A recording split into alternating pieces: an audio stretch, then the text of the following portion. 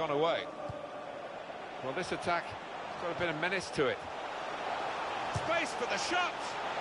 And now they're two up with another fine piece of attacking play. Typical, really, of the work of the players and the effort that they put in on the training ground. The manager's got terrific belief in attacking football, and he must be thrilled, probably beyond even his wildest dreams.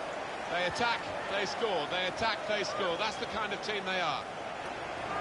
He scored with a chip of a very tasty variety. So difficult. With the ball running away from you, it's so easy to get that one wrong.